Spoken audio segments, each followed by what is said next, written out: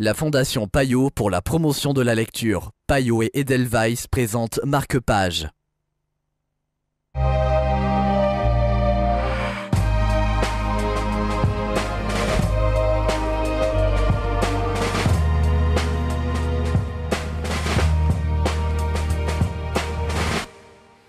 Bienvenue dans Marque-Page, Le faussaire, l'espionne et le faiseur de bombes d'Alex Capu. C'est le livre dont nous allons vous parler aujourd'hui en compagnie de Joël Braque de Payot Livre. Bonjour Joël. Bonjour. Nous sommes en 1924 à la gare de Zurich. Trois personnages qui ont marqué l'histoire se rencontrent.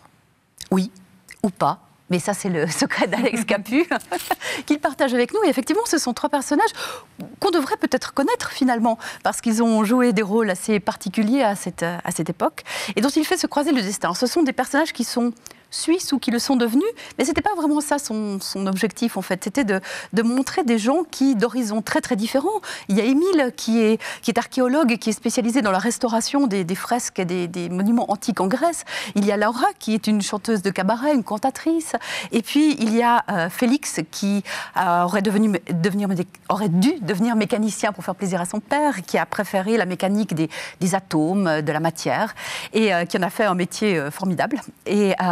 Et, ces, trois personnes ont finalement des destins qui se croisent parce que Zurich et cette gare sont une plaque tournante.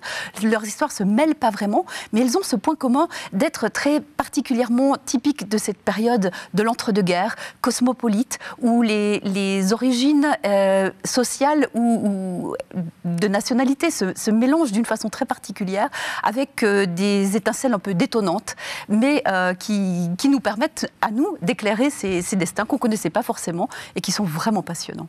Merci beaucoup, Joël. En tout vous nous avez, vous nous avez donné envie de voyager par la gare de Zurich. Si c'est également votre cas, vous savez où trouver ce merveilleux livre d'Alex Capu. Marque-page, c'est terminé. Mais nous nous retrouvons très vite pour de nouvelles aventures littéraires, évidemment.